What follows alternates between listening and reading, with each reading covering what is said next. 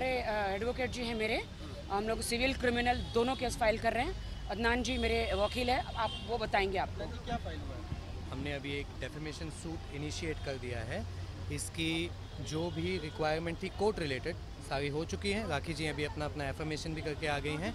और हम केस कर रहे हैं। हम लोगों के मीडिया में बात नहीं कर रहे हैं। हम केस कर रहे हैं। जी हाँ बिल्कुल मैं केस कर रही हूँ। रुपए का केस हुआ है? आ, मैंने तनुश्री दत्ता पर चवन्नी का केस किया है। क्योंकि मैं बहुत प्रे करती हूँ मैं परमेश्वर पिता में विश्वास करती हूँ और गॉड ने मुझे स्वप्न दिखाया है कि बेटी की सज़ा माँ बाप को ना मिले। उनके माँ बाप इनोसेंट है और मैंने पहले पचास करोड़ का करने वाली थी बट आगे शायद कर सकती हूँ और तनुश्री दत्ता और बदतमीज़ अगर होगी तो। और और अगर मुझे और गालियाँ देगी तो क्योंकि उसने मुझे बहुत अब्यूज़ किया है।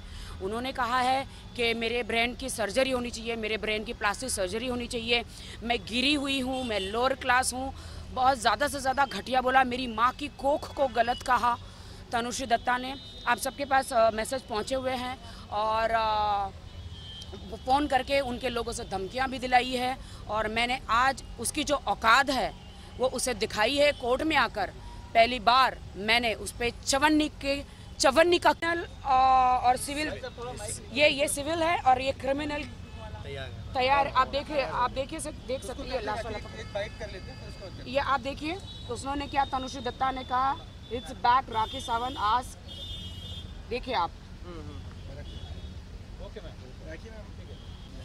देखिए वो तो गिदड़ भपकियाँ दे रही थी दस करोड़ का केस किया है राखी पे अभी तक कोई केस कहीं गया नहीं है एडवोकेट के पास या किसी ने कोई मुझ पर केस किया नहीं अगर वो केस करेंगे तो मैं पूरा जज के पास जाऊँगी मैं कोर्ट में जाऊँगी और आ, मैंने तो कुछ किया नहीं है और फ़र्स्ट ऑफ़ ऑल उसने मुझे बहुत अब्यूज़ किया है बारह साल पहले मेरा रेप भी किया है तो मेरे पास सारे एविडेंस प्रूफ है और मेरे एडवोकेट अदनान जी हैं और भी मेरे एडवोकेट्स हैं और मैं हर कोर्ट मुझे मुझे मुझे हिंदुस्तान के लॉ कोर्ट पुलिस सबसे बहुत उम्मीद है।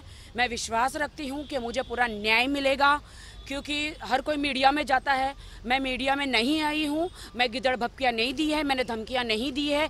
मैं कोर्ट में आई हूँ कोर्ट का दरवाज़ा खटखटाया है और मैं कोर्ट से गुहार करती हूँ इंडियन पेन, पेनल लॉ से कोर्ट से कि राखी सावंत को न्याय मिले मुझे न्याय मिले। तरफ़ तो अभी फ़िलहाल मैं अकेले लड़ रही हूँ पूरी फ़िल्म इंडस्ट्री की तरफ़ से। आ, पूरा आधा से आधा आधा से ज़्यादा हिंदुस्तान और पूरी मीडिया तनुश्री दत्ता को सपोर्ट कर रही है। इसीलिए हैश मी को हैश मी टू को बढ़ाना चाह रही है। इसीलिए क्यों? क्योंकि हैश मी टू बिना बिना वजह का एक एक एक गंदगी है। अमेरिका से आई हुई, एक गंदगी है जो हमारे बॉलीवुड को और हिंदुस्तान को ख़राब करना चाहती है। और आप देख रहे हैं अन्नू मलिक जी पर कितना गलत केस डाला गया आलोकनाथ जी पर और बहुत सारे और आर्टिस्टों पर। बहुत गलत गलत केस डाला गया, जिसका कोई हाथ और पैर नहीं है, कोई प्रूफ है नहीं। और बहुत ही गलत केस डाले गए। और मुझे ये कहना है कि वो इसलिए मी मी टू को प्रमोट कर रहे ताकि इससे बॉलीवुड बदनाम तो हो ही रहा है। मतलब मीडिया वालों को, मैं कभी मीडिया के खिलाफ नहीं जाती हूँ, लेकिन आज पहली बार बोल रही हूँ ताकि पब्लिसिटी मिल रही है। जीआरपी टीआरपी हाई हो रही है, इसीलिए इसको बढ़ाया जा रहा है। औरतों के लिए कानून बने हैं। उनकी मर्यादा के लिए कानून बने हैं। लेकिन औरतों को उस कानून का गलत उपयोग नहीं करना चाहिए।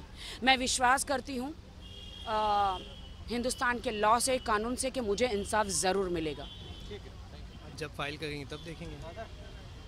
अभी तक फ़ाइल नहीं किया है तनुश्री ने कोई केस ये सिर्फ़ मुझे डर, डराया डराया जा रहा है लिटरली और मैं डरने वालों में से नहीं हूँ। मैं तनुश्री तुम दस करोड़ का करो, केस, या पचास करोड़ का करो, मुझ पर मेरी तो वैल्यू है उतनी, और तुमने उतना का केस करो, तुम्हारी वैल्यू सिर्फ़ चवन्नी की है। तो इसलिए मैंने तुम पे चवन्नी का केस किया है।